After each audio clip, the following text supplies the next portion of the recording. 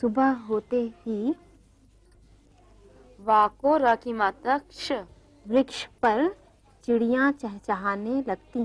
भाभी बाकी कल पढ़ाऊँगी। जीजी की मदद से आज मैं थोड़ा पढ़ लिख लेती हूँ। भाई जा रही हूँ।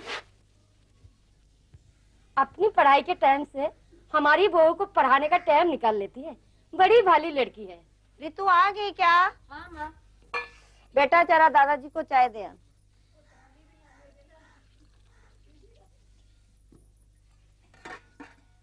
दद्दू चाय।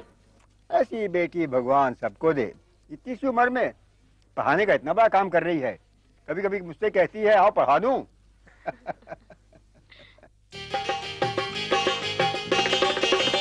खुद पढ़े औरों को पढ़ाए जो सीखा औरों